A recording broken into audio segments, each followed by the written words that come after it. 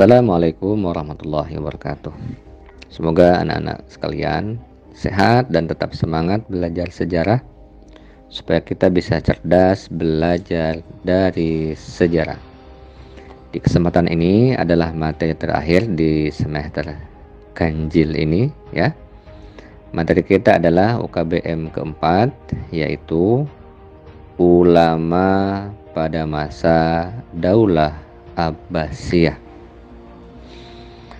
Anak-anak sekalian, ulama pada masa Daulah Abbasiyah dibagi menjadi tiga bidang keilmuan ya.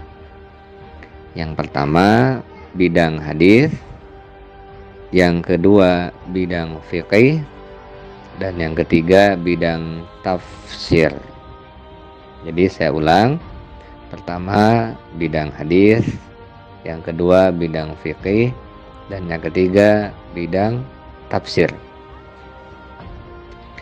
Untuk memetakan materi di awal, jadi kalian biar tidak bingung nih, Pak petakan dulu secara global. Ulama hadis ada enam, oke ya, yang dibahas ya, yang dibahas dalam kurikulum kita. Kemudian ulama fikih ada empat dan ulama tafsirnya ada dua. Jadi ulama hadisnya enam, ulama fikihnya empat, ulama tafsirnya dua. Ulama hadis ya dikenal dengan muhaddisin. Jadi muhaddisin itu ulama-ulama yang memang pakar di bidang hadis. Kemudian ulama fikih dikenal dengan fukoha. Jadi fukoha itu para ulama fikih.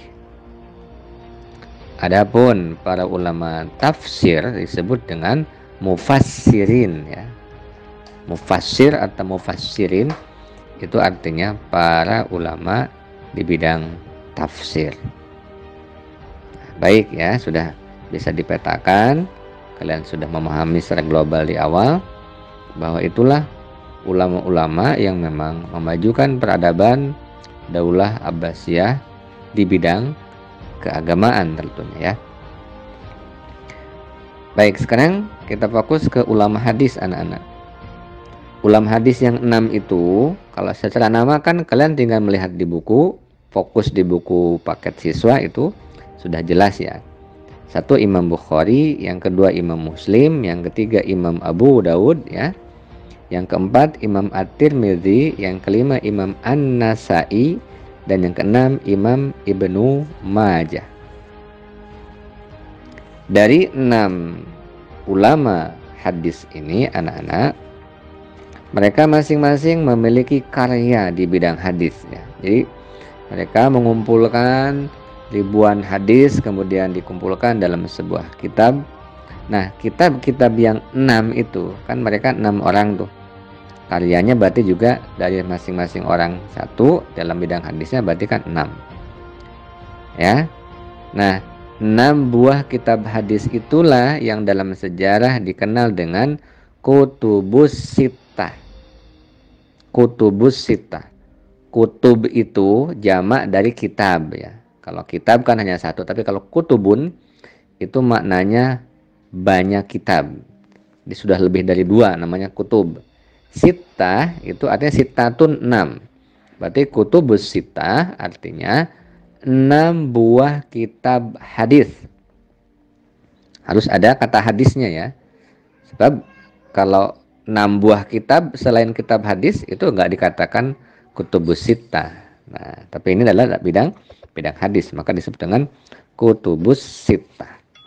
Nah, ini pemetaan awal yang penting itu melogikakannya dan memetakannya yang penting bagi kalian ya. Kalau misalnya Imam Bukhari itu kitabnya apa, Imam Muslim kitabnya apa, Imam Abu Daud kitabnya apa, itu kan tinggal kalian baca uh, satu kali selesai, sudah bisa dipahami. Baik anak-anak, kita masih fokus ke ulama bidang hadis. Yang perlu kalian pahami lagi adalah bahwa ulama-ulama bidang hadis ini anak-anak yang menghasilkan karya yang dikumpulkan dalam kutubus sitah ya dalam istilah kutubus sitah enam buah kitab hadis yang perlu kalian pahami adalah bagaimana mereka punya spirit ya, spirit keilmuan yang akan membakar ya akan membakar jiwa keilmuan kalian tetap hidup tetap semangat ya supaya apa supaya di zaman modern ini ada penerus-penerusnya, ulama-ulama hadisnya. Ya, semoga kalian ya jadi salah satu kalian atau mudah-mudahan banyak yang akan menjadi ulama-ulama yang pakar hadis nantinya. Hafal ribuan hadis ya, hafal sanadnya, hafal derajat hadisnya, sahih, hasan, doaibnya dan seterusnya. Itulah yang dikategorikan dalam uh, ulama bidang hadis ya yang perlu kalian teladani. Apa yang kalian teladani? Tentu biografi keilmuannya. Contoh begini. Bagaimana Imam Bukhari? Imam Bukhari. Dia sejak usia 16 tahun ya. Kemudian dia ke Makkah, ke Madinah ya untuk belajar dari para guru besar hadis Kemudian usia 18 tahun dia sudah hafal Kalia Mubarak ya. Kemudian bagaimana Imam Bukhari menelusuri mengumpulkan hadis-hadis ya. Ya. Bisa menghabiskan waktu selama 16 tahun untuk mengumpulkan hadis dan hadisnya diseleksi ini sahih atau tidak. Ini hadisnya doaib atau tidak. Nah, bagaimana cara kita meneladaninya? Tentu bukan sekadar meneladani jalan jauh ke mana mencari dan mencari ilmu. Tetapi dalam bidang hadis ini bagaimana Imam Bukhari mengajar kepada kita bahwa apa yang diucapkan itu harus sangat-sangat selektif. Terlebih ini ucapan Nabi Muhammad SAW jadi ada ada ada kesan dan pesannya itu hati-hati dalam berbicara bicara itu harus yang baik-baik harus yang berkualitas nah, itu salah satu spirit dari biografi keilmuan Imam Imam Bukhari. Berikutnya anak-anak kita fokus sekarang ke ulama bidang fikih. Mereka dikenal dengan fukoha ya, para ahli fikih. Dan yang empat orang ulama fikih ini ya dari Imam Hanafi, Imam Syafi'i, Imam Maliki, Imam Hanbali ya. Empat orang tersebut, empat ulama tersebut dikenal dengan para ulama atau para imam mazhab ya anak-anak ya. Jadi dalam fikih kan ada mazhab tuh. Kita kita mengenal sholat menggunakan mazhab Syafi'i, ibadah ini menggunakan mazhab Hanafi. Nah, imam mazhab itu ya empat orang itu ya. Imam Hanafi, Imam Maliki, Imam Syafi'i, Imam Hanbali. Jadi mereka dikenal dengan imam mazhab. Maka biasanya ya dalam fikih madhab-madhab atau pendapat-pendapat dalam fikih itu merujuk kepada mazahibul arba'ah ya anak-anak. Ada istilah mazahibul arba'ah. Mazahib itu jenis-jenis mazhab atau pendapat atau aliran. Arba'ah itu empat. Berarti mazahibul arba'ah itu ya, aliran dalam fikih yang jumlahnya empat. Nah ini ya. Kalau karyanya, karya Abu Hanifah itu seperti apa? Karya Imam Malik seperti apa? Imam Syafi'i, Imam Hanbali karyanya apa? itu bisa dibaca di buku itu satu kali baca sudah jelas sudah bisa yang perlu dianalisis oleh kalian adalah bahwa Imam Abu Hanifah atau Imam Hanafi anak-anak itu merupakan uh, ulama fikih pertama yang menyusun ya yang menyusun kitabnya secara tematik jadi secara tematik itu bisa begini tema pertama judulnya tentang toharoh nih tentang tentang bagaimana toharoh dalam Islam. Nah, nanti ada ada penjelasan hadis-hadis dikumpulkan di situ. Tentang sholat, temanya sholat apa? tentang zakat dikumpulkan lagi, tentang puasa dan seterusnya. Nah, itu adalah Imam Imam Hanafi. Itulah yang pertama kali menyusun kitab fikih berdasarkan kelompok-kelompok atau tema ya, mulai dari toharoh. Nah, jadi kalau kalian kalian belajar kitab fikih ya, misalnya kitab fikihnya yang di zaman sekarang nih kitab fikih yang yang tipis dulu aja misalnya kitab fikih tentang kitab Safinatun Najah. Nah, mesti kan awal-awal tentang tentang toharoh ya. Sampai ke kitab-kitab fikih besar ya. Itu mesti awalnya tentang tentang toharoh. Kemudian nanti tentang sholat dan seterusnya. Nah, ini tentang Imam Imam Hanafi. Nah, sekarang Imam Imam Malik ya, Imam Maliki. Bisa kalian bisa kalian tengok juga tuh cermati di buku bagaimana menulis kitab Al-Muwatta.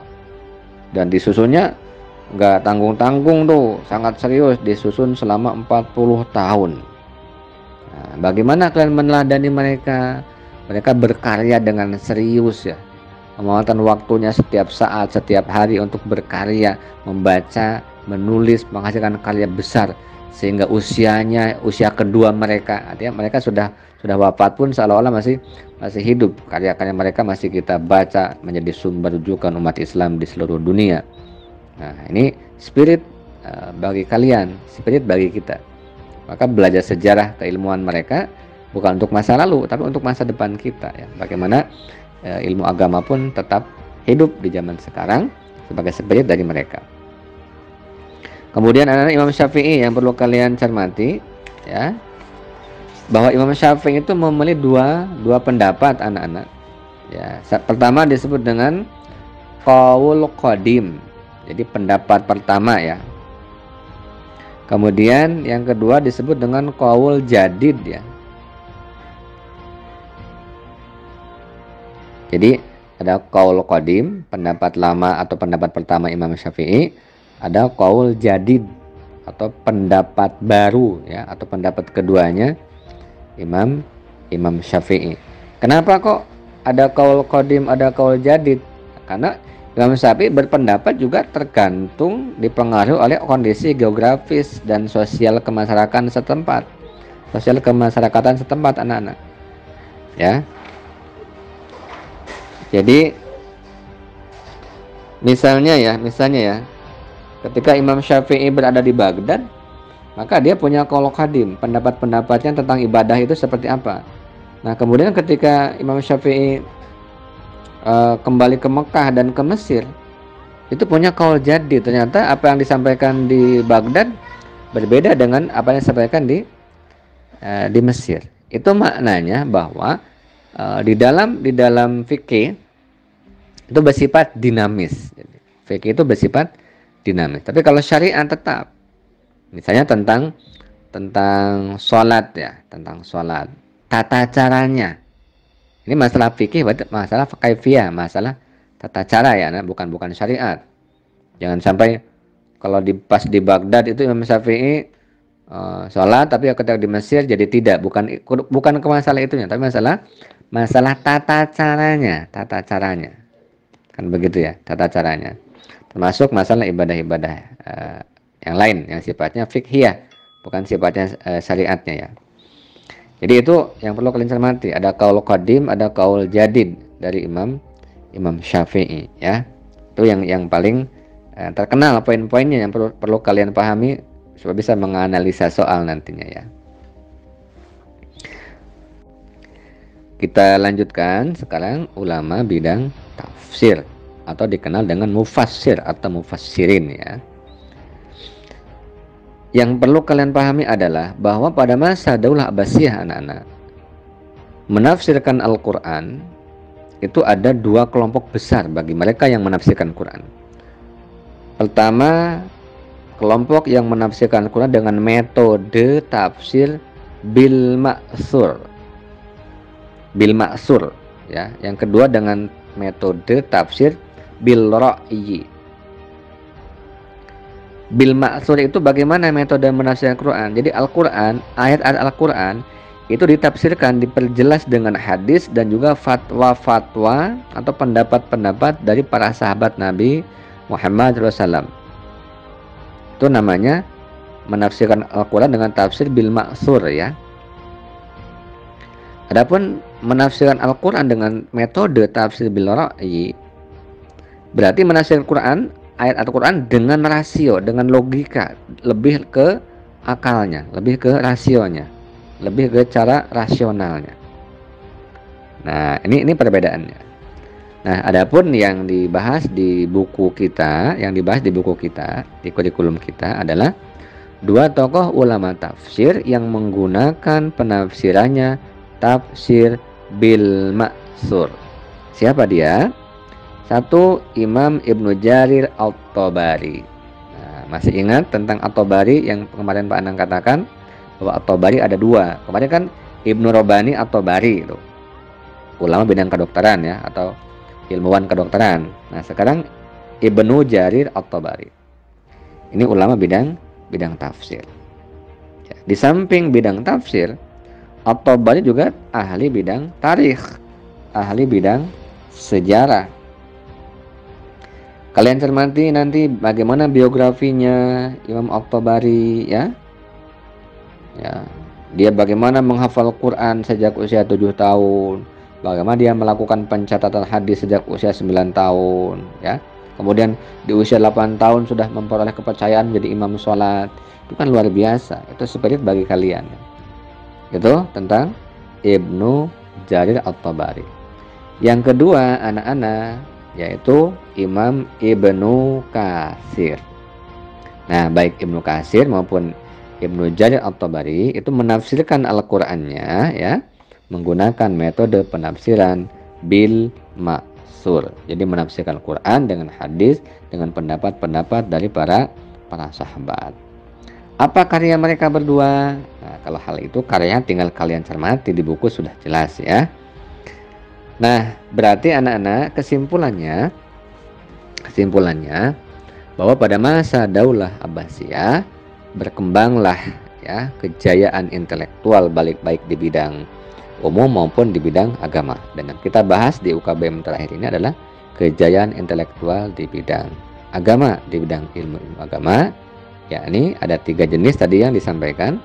Pertama bidang hadis, kedua bidang fikih, dan yang ketiga bidang tafsir.